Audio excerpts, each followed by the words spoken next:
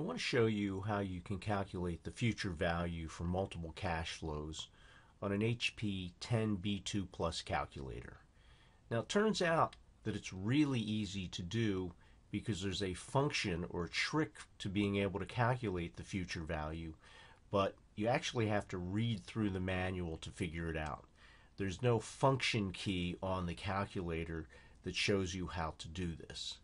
So if you're trying to calculate the future value of a series of cash flows, what do you do? You calculate the um, future value of each individual cash flow and you add them up. So if the cash flows begin in year one, you would compound this out for t minus 1 periods. Remember, you're starting in time period 1, not time period 0. So when you count it out, it's going to be t minus 1 periods. Likewise with the cash flow in year 2, that's going to grow for t minus 2 periods. And the last cash flow in time period t is going to grow by t minus t periods, which is um, 0, and anything raised to the 0 power gives you um, a 1. So it's just the value of the cash flow. The cash flow is already in the correct time period, so you don't compound it at all. So how do you do that? Suppose we have this example.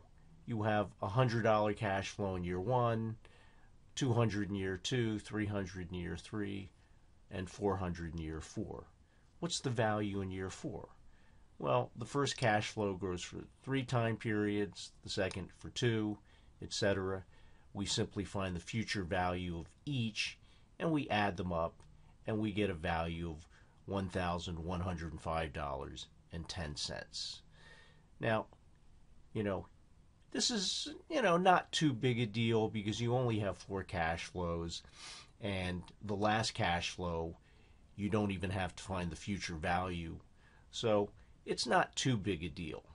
But if you had 10 cash flows or 15 or 20, it would be quite tedious to compute each one of these. So what you'd like to do is use the cash flow worksheet. And all of the financial calculators have the financial worksheet. And they allow you to put in a bunch of cash flows, but depending on the calculator, they don't always compute the future value, but they can always compute the present value. And the reason for that is we use the present value of a series of cash flows all the time in finance uh, to compute things like net present value.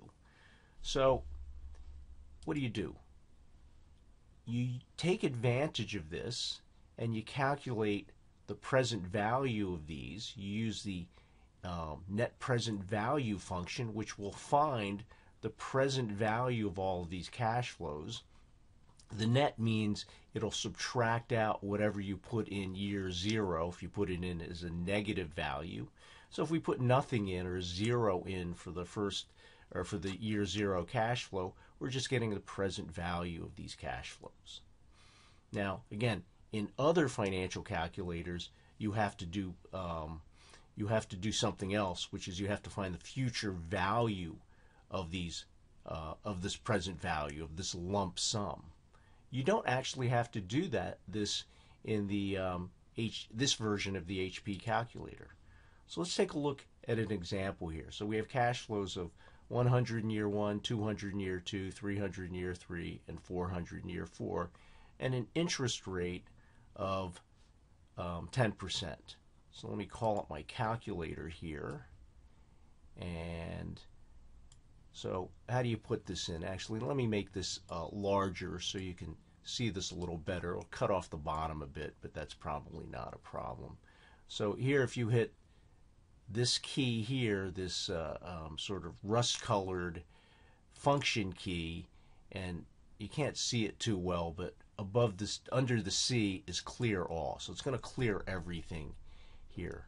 So how do you put these numbers in? Actually, I do have to make it smaller so that I can I can see my zero so I can type it in. So the first cash flow is zero, and up here it says CFJ. So I'm going to put the first cash flow in at zero, The second cash flow, or I'm sorry, the year one cash flow in is 100. And again, it tells you that was the, uh, you, you know, cash flow one. 200, I hit this function again. Cash flow two. Um, cash flow three is going to be 300. And cash flow four is going to be 400. I put in the interest rate, which is 10%, so up here I slash YR. So the interest rate is in, and then I want to compute, and here let me make the skin larger now, so that you can see under this PRC um, key says NPV. So again, if we hit the function key, we hit NPV, we get the net present value of 754 80. Now, in other calculators, I would say you simply then want to find the future value of this, right? And you could do that. Remember, you have the value of this in year zero. You simply would multiply by 1 plus the interest rate raised to the teeth power, in this case 1.10 to the fourth power. It turns out that this calculator actually will do this for you you don't see anything here that says net future value, which is what it's called, but you can call it up by simply hitting this, again, function key and the swap, and there you get $1,105.10. So really easy to do if you know the trick, but if you haven't read the, um, the manual, you probably wouldn't be aware of that or wouldn't even know it existed. So I hope you find this uh, helpful, and um, it's a nice little trick if you're doing some calculations on an exam.